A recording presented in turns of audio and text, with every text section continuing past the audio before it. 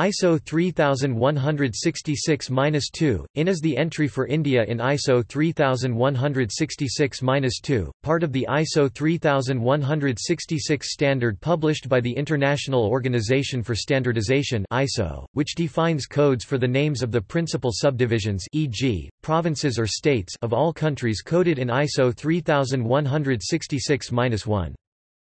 Currently for India, ISO 3166-2 codes are defined for 29 states and 7 union territories. Each code consists of two parts, separated by a hyphen. The first part is in, the ISO 3166-1 Alpha 2 Code of India. The second part is two letters, currently used in vehicle registration plates, with some exceptions.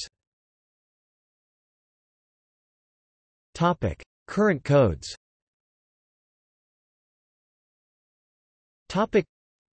Subdivision names are listed as in the ISO 3166-2 standard published by the ISO 3166 Maintenance Agency ISO 3166 per mega. Click on the button in the header to sort each column. Notes. Topic. Changes.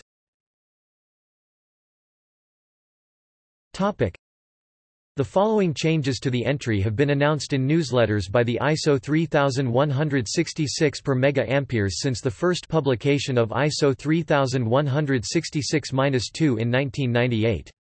ISO stopped issuing newsletters in 2013. The following changes to the entry are listed on ISO's online catalog, the online browsing platform. Topic. See also Topic. Subdivisions of India. FIPS region codes of India. Topic. References. Topic. Topic. External links. Topic. ISO online browsing platform in States of India, Statoids Com